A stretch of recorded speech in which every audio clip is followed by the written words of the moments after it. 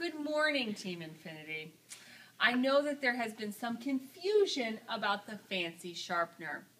And we want to make sure not to put Mrs. Kanzeg over the edge because you know how that can go. So today we're going to have a tutorial on how to use the fancy pencil sharpener so it doesn't end up like Mrs. Schreiber's.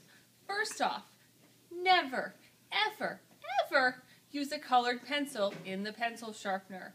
You have your own little tiny ones to break for this. Thank you.